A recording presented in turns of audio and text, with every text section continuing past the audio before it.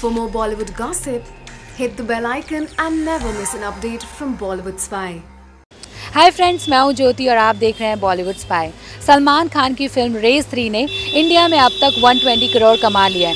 और अगर हम बात करें वर्ल्ड वाइड कलेक्शन की तो फ़िल्म ने 160 करोड़ की कमाई कर ली है. वेल well, हम आए हैं हमारी जनता से पता लगाने की उनका रिएक्शन क्या है इस पर. साथ ही साथ ये भी पता करेंगे कि उनके हिसाब से सलमान खान क्यों बॉक्स ऑफ़िस किंग बन चुके हैं. तो आइए पता लगाते हैं. आपको ऐसा क्यों लगता है कि जो सलमान खान है वो बॉक्स ऑफ़िस किंग है? इसलिए लगता है क्योंकि उनका स्टार्टअप काफ़ी पुराना है। वो पहले से किंग है वो। अभी आसपास उनके कोई भटक भी नहीं रहा है। तो मुझे लगता है अगले पाँच साल तक भी वही रहेंगे।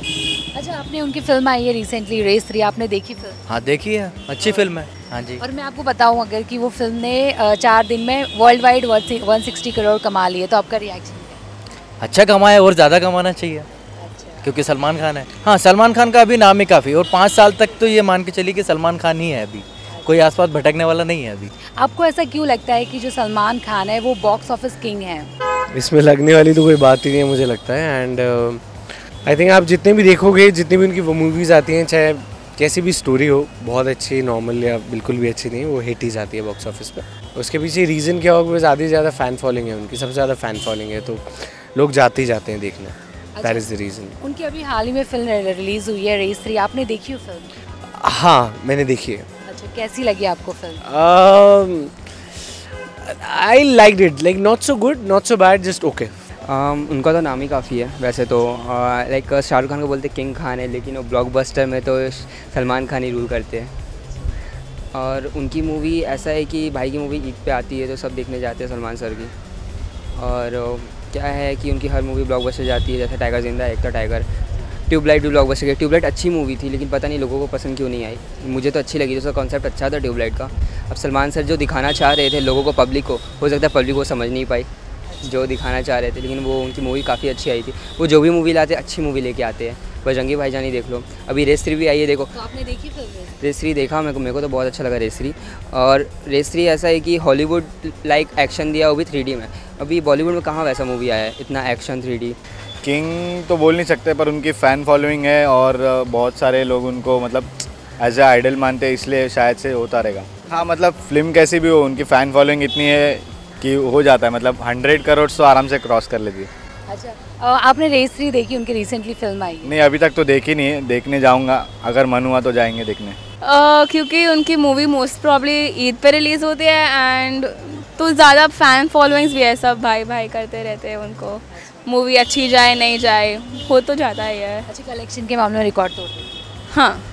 अच्छा आपने उनकी फ़िल्म रिसेंटली आई है रेस थ्री देखी? हाँ देखी कल ही देखी थी। अच्छा कैसी लगी आपको अच्छी थी और अच्छी हो सकती थी बट ठीक है अच्छे थे। अच्छा फ़िल्म ने चार दिन में वन सिक्सटी करोड़ करा हाँ। कमा लिया वर्ल्ड वाइड तो आपका रिएक्शन अभी सलमान खान की मूवी तो होना ही है।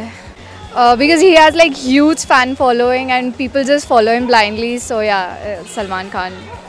Recently is film release Race three did you watch the film no not yet are you planning to watch I don't think so I don't think so I will but because उनकी फ़िल्म हमेशा most of the time एक proper Eid के time पे generally release होती है। सो so, basically uh, जो खान के जो फैंस है वो ज़्यादा उस पर ये करते हैं। और Salman Khan is like like, uh, उन लोग का उनका रैपो इतना अच्छा है कि uh, लोग मतलब फ़िल्म कैसे भी हो वो देखने के लिए ज़्यादा ये करते हैं। अच्छा उनकी फ़िल्म रिसेंटली रेस 3 आई है। आपने देखी फ़िल्म नहीं।